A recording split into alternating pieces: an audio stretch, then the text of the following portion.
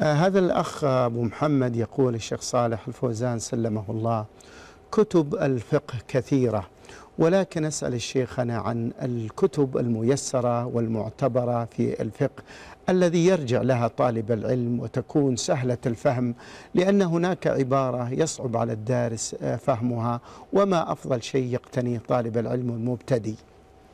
بسم الله الرحمن الرحيم. الحمد لله رب العالمين صلى الله وسلم على نبينا محمد وعلى آله وأصحابه أجمعين. أما بعد فإن طلب العلم فريضة على كل مسلم ومسلمة كما في الحديث. لا سيما ما يستقيم به دينه تصح به عقيدته وعبادته ثم معاملاته وجميع شؤونه وبحاجة إلى الفقه في دين الله عز وجل. والفقه ولله الحمد ميسر والكتب كثيرة ولكن الشأن في المعلم الذي يستطيع أن يبين للطالب فقه هذه الكتب على الوجه المطلوب.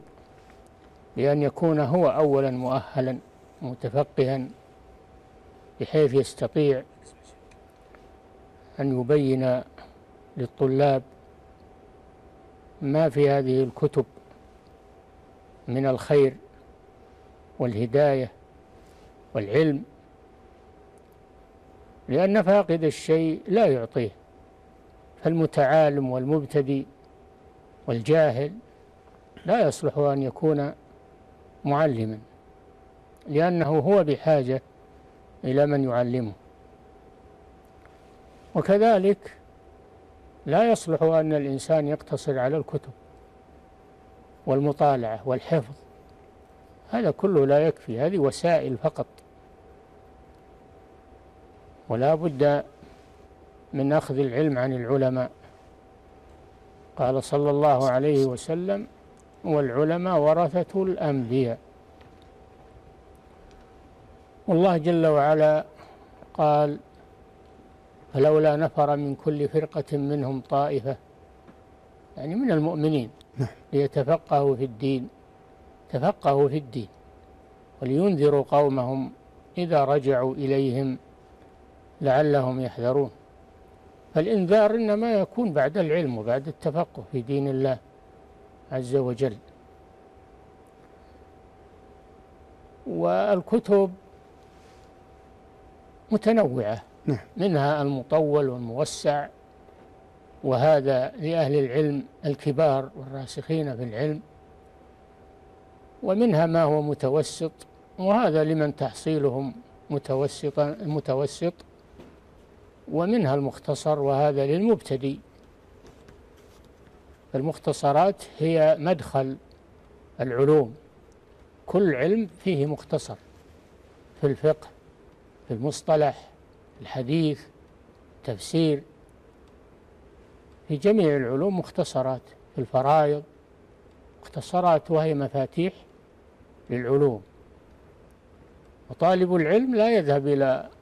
إلى الموسوعات كتب الكبيرة والصحاح في الحديث.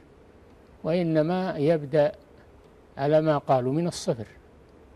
فيبدأ من من ألف باء بداية العلوم حتى ينفتح له الباب ثم يتدرج شيئا فشيئا في الفقه على أيدي العلماء حتى يتكون عنده حصيلة جيدة يعتمد عليها.